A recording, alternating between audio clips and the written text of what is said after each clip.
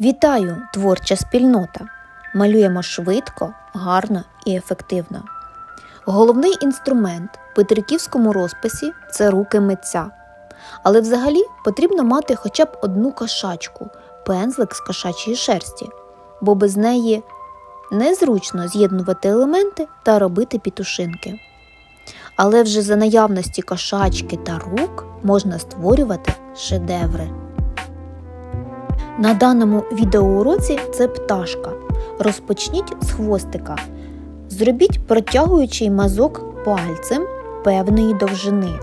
Робіть його у форму, яка буде нагадувати форму бутона якоїсь цікавої, фантастичної та таємничої квітки. Далі робимо імітацію маленьких пір'їнок на тулубі пташки.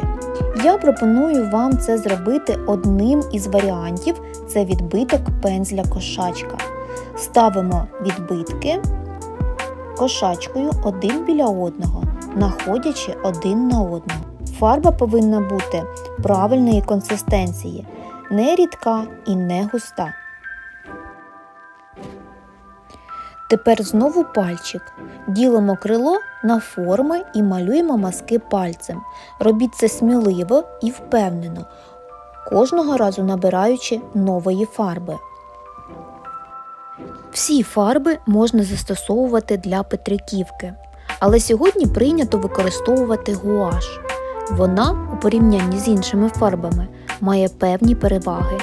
тобто невибаглива до використання та дешева в порівнянні з іншими фарбами схожих властивостей.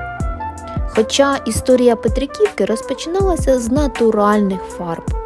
Думаю, не буде зайвим згадати, що натуральні фарби робили з відварів трав, кольорових овочів та фруктів. І от ці відвари змішували з жовтком для надання натуральній фарбі більш стійких властивостей. Але сьогодні цей метод не використовується через свою застарілу технологію та недосконалість, оскільки через деякий час фарба вицвітає або пріє. Доповніть птаху елементами зернятко, витягнуте зернятко, вусиками та завиточками. І вуаля! Ваша пташечка має свій індивідуальний образ казкової чарівниці, яка співає про кохання.